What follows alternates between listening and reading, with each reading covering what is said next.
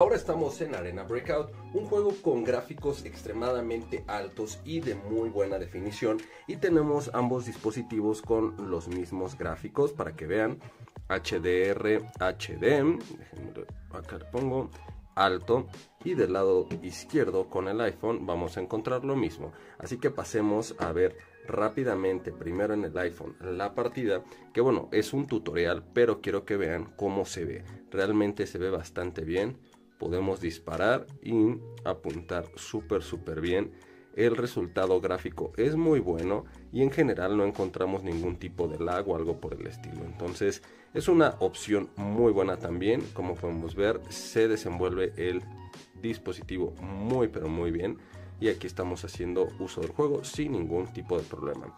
Y ahora pasemos al Poco X6 Pro donde ya estamos en una partida como tal y vamos a jugar un poquito para que vean también cómo se desenvuelve. Aquí el único detalle es que si estamos en una partida real y en este juego si te matan, pues pierdes todo, todo lo que consigues, ¿no? Entonces, por ese lado no está muy padre.